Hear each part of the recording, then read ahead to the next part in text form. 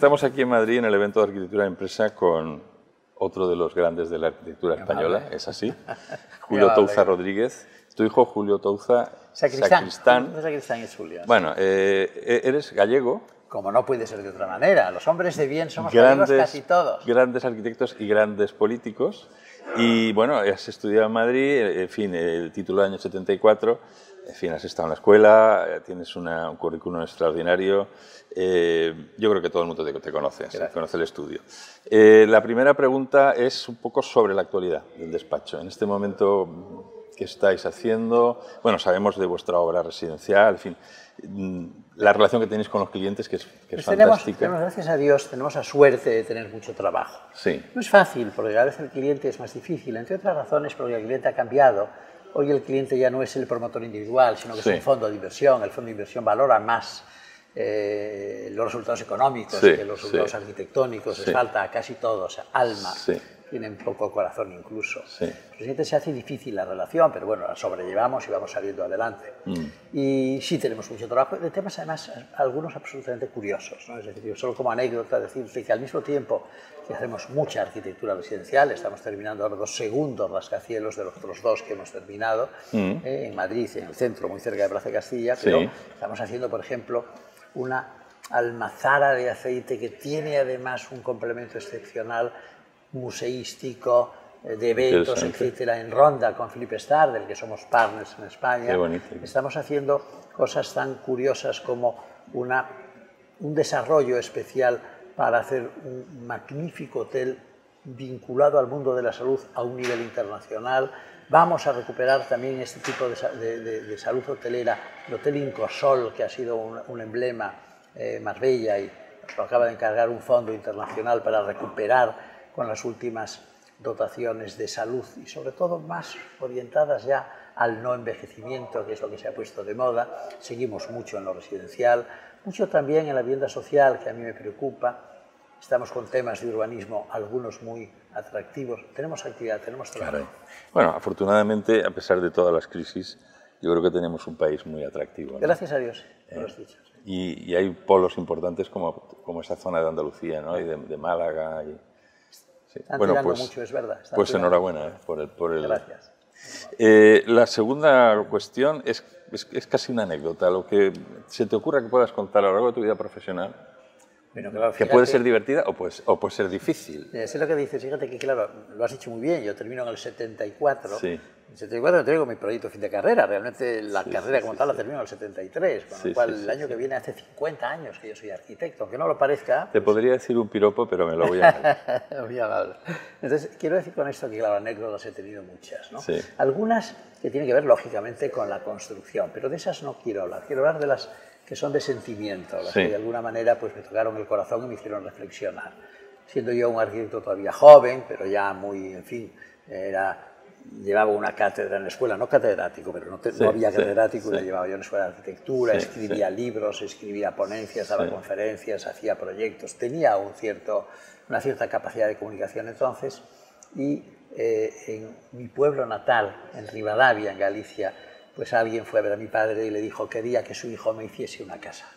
Bueno, pues yo vi al señor, que era un señor de aspecto muy humilde, y le dije, mire usted, le voy a recomendar un arquitecto de Orense que le hará una casa estupenda. Y entonces me quedó mirando, me miró de arriba abajo y me dijo, me lo dijo en gallego, pero lo diré en castellano, ¿qué ocurre? Que usted solo hace casas para los ricos. Me hundió de tal manera que hice su casa magnífica y se la regalé, no cobré mis honorarios. Y eso me hizo reflexionar. Desde entonces me volqué mucho en la vivienda social. Luego anécdotas, algunas que pasan por el engaño. Es decir, yo tuve un proyecto como nunca había pensado en tener, 18 millones de metros cuadrados construidos, la bahía de Shenzhen en China, algo espectacular y me engañaron, era, cogieron mis ideas, o sea que te encuentras en la vida, entre el humilde de su casita y el monstruo chino que venía. Bueno, es que no dejamos de tener también una cierta vena naif, ¿no? Los arquitectos, ¿no? bueno, sobre todo si nos ponen un caramelo de ese tamaño, ¿no? claro, o sea, vamos a decir que, no? que no, hay que Seguro que es un engaño, seguro que es un engaño. Pero, es igual, hay, que ir por eso. Muy bien. Bueno, y ahora te voy a hacer un, test rápido. El maestro clásico. como, como, casi todos diríamos, siempre los que reconoces desde hace poco, ¿verdad? Sí. Y que se han vuelto clásicos aunque sean recientes. Yo he admirado, mi propio estudio es una réplica de lo que el que hubiera hecho que es Le Corbusier. Mm. Eh, de alguna manera para mí es Muy bien. Eh, una, dirección, un símbolo donde mirar.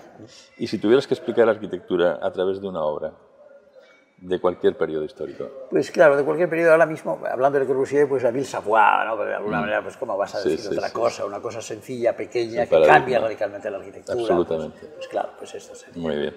¿Y un arquitecto más contemporáneo, actual, que te, que Yo he resulta interesante? siempre, siendo contemporáneo, pero ya mayor, he admirado siempre, siempre a Richard Meyer. Me parece un arquitecto soberbio, un arquitecto estupendo, que está pasando un momento malo por mm. condiciones que no tienen que ver con la arquitectura, ah, pero creo que es un arquitecto soberbio, magnífico.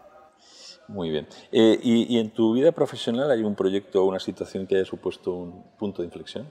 Eso que dices, me llegó este, este proyecto, me llegó esta circunstancia y eso me pegó el impulso, me, me bueno, cambió... Hay, que reconocer que efectivamente hay como varios impulsos, como varios proyectos. No hay un proyecto solo, sino como varios proyectos, ¿verdad? Pero seguramente el proyecto que empezó a marcar un cambio de rumbo fue un proyecto nuestro que finalmente no cristalizó en obra final, en Vietnam, en la bahía de, de Halong, ¿verdad? un proyecto monstruo que me encargó un grupo de dinamita, donde nosotros estábamos trabajando, hacíamos proyectos en Vietnam, sí. y fue algo que me hizo reflexionar Primero porque la bahía de Halong no debería tocarse y me estaban diciendo tóquele a usted, primer problema, a ver cómo haces si no debes pero te piden que lo hagas porque si no lo hará otro. Segundo, de qué manera lo tocas para que esa bahía maravillosa, que yo creo que es patrimonio de la humanidad, pues no se estropee, no se deteriore y, y no cambie de rumbo. Y menos mal que como finalmente nos ha hecho, pues ya está. Muy bien. ¿Una tipología que todavía no hayas hecho? ¿Te gustaría? Bueno, hay algunas, lógicamente, que yo no he hecho, ¿no? Pero no he hecho un aeropuerto, que me hubiera encantado. Y seguramente me hubiera gustado que dos proyectos míos que hice como proyectos, pero no cristalizaron como construcción, se hubieran llevado a cabo y tengo ilusión de que se lleven. Uno es un hospital para gente muy humilde en Angola mm. y otro son unas escuelas para gente muy humilde en Camerún. Ajá. ¿Y cómo crees que nos valora ahora la sociedad? al arquitecto? si pues, tuvieras que poner una nota. Aunque tú creas que nos valora bien, yo te diría que nos valora no mal, simplemente nos ignora. Nos ignora. Es una cosa terrible. Nos ignora, pero les estamos haciendo el, escenario de su vida. Es ¿eh? que nos ignora, pero nos necesita. Sí, sí. Esa es una cosa curiosa, le pasa como a los políticos. Les necesitamos, pero si podemos nos olvidamos rápidamente de los Ojalá nos olvidemos de todos. ¿no? Pero a nosotros nos ignora. Sí. Muy bien. Perdón, yo sí he, visto, y tú supongo igual, por la edad que tenemos, sobre todo la que tengo yo, cómo ha cambiado esto. esto el paradigma era mm. distinto, el arquitecto era respetado, el arquitecto era escuchado, el mm. arquitecto era una persona que donde estaba de alguna manera imponía un poco de docencia de la vida. ¿no? Hoy ya nadie te escucha o pocos te escuchan.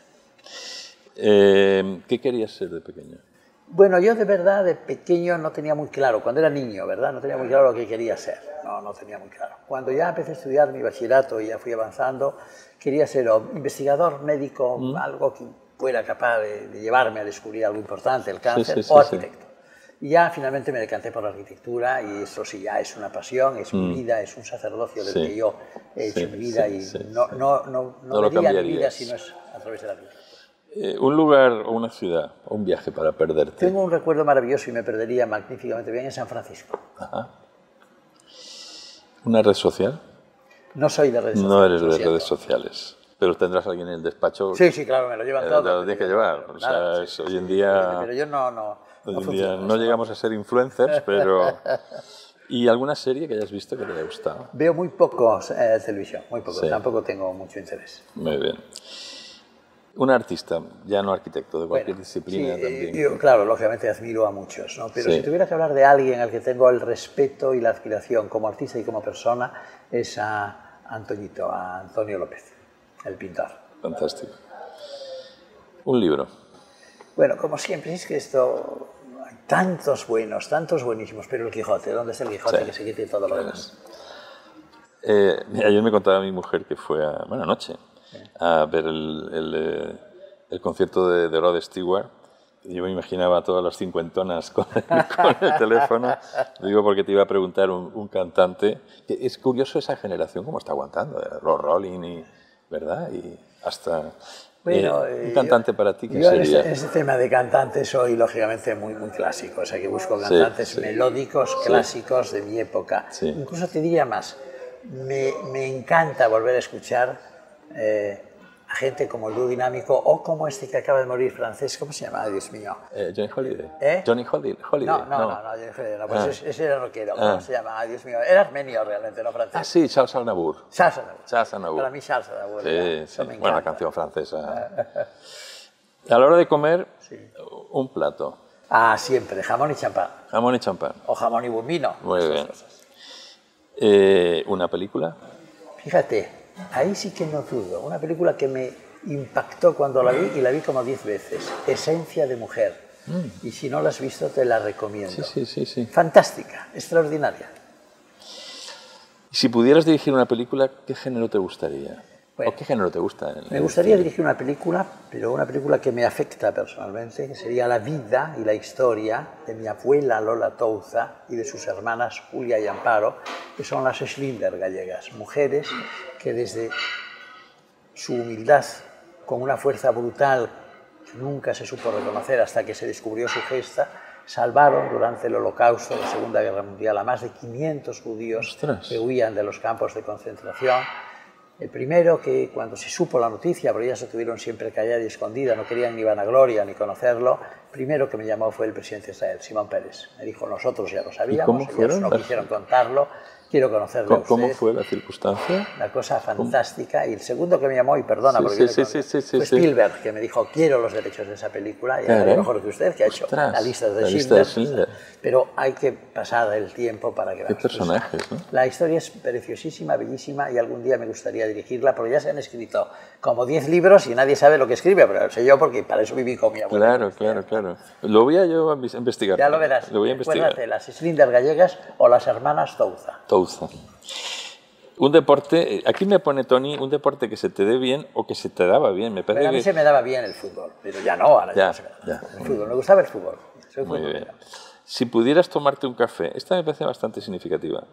Si pudieras tomarte un café con un personaje histórico, bueno, ¿y, qué hablarías con él? ¿Qué lógicamente hay muchos personajes que me atreverían, pero si hoy hay uno que especialmente eh, he soñado muchas veces si yo volviera atrás y pudiéramos vivir dos mil años antes, sería Jesucristo. Jesucristo. Sí, sin duda. Muy bien. Y hablaría de la vida y de la muerte, claro. Sí. Eh, ¿Qué tres cosas te llevarías a una isla desierta? A una isla desierta, bueno, ahí, esto sí que... Agua, por si acaso tengo sed. Lápiz y papel. Lápiz y papel. Muy bien. ¿Y cómo visualizas tú una tarde perfecta, una tarde redonda? Una tarde normal. Sí. A mí me gustaría, si es posible, que la vida nos dé momentos de felicidad que se vivan con muy poco. Un lugar junto al mar, una sombra al lado del sol, una copa de champán, yo soy muy de champán, o de mm. vino magnífico, un buen libro. Y si es de arquitectura, mejor, mm. que los he leído casi todos, mejor. Mm. Y simplemente sentado a la, a la sombra de un árbol, mirando al mar, con una copa, leyendo ¿Ejerces de gallego? ¿Te gusta ir allí? Sí, puedo ejercer de gallego. Ayer estuve como presidente de un jurado para unas bodegas en, El Ribeiro. Eh, fui ayer por la mañana en AVE, volví por la noche y respiro de otra manera cuando llego a mi tierra. Bueno, y la última es una frase. Dinos alguna frase que te haya gustado, una especie de eslogan o... Bueno, no había pensado en esto porque no había pensado en nada, es muy rápido, pero si hubiera que, si hubiera que pensar algo, la frase que a mí me gustaría es decir, sonríe que la vida necesita sonrisas de la gente, pues estamos llenos ya de, tristezas y de temores. Ese es un poco.